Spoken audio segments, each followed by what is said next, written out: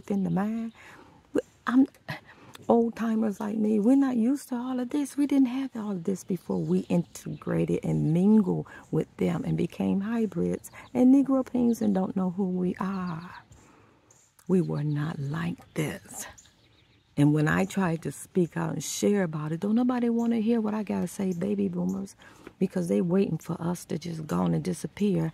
So this new gen who are multicultural, but some of them, not all of them. You got some young uh, Gen Zs out there that are uh, getting everybody straight on TT.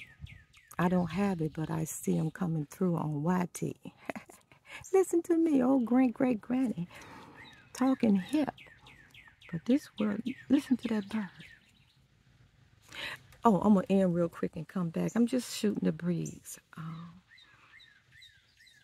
no pun intended, because it is a breeze out here. But we didn't know to invest in McDonald's or something, uh, Google, maybe in the 90s, put maybe $500 on it and left it there. Did not touch it, invested, did something like that.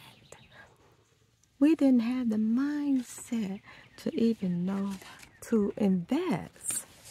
They didn't teach it to us in school. We didn't have anybody in the family uh, to pass that knowledge down to us.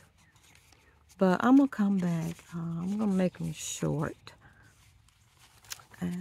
just share some viewpoints. Thanks for listening. Peace if you can find it.